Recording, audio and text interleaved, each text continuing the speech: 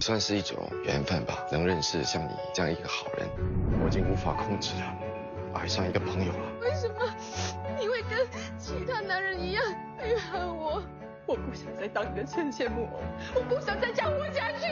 他就是让你变心的理由。我除了祝福你，我什么都不能为你做了，你明白吗？不要逃避，我要坦诚面对自己的感情。我错过一次了，我不想再错。爱要怎么说？三月十七号起，周一至五晚上九点八频道。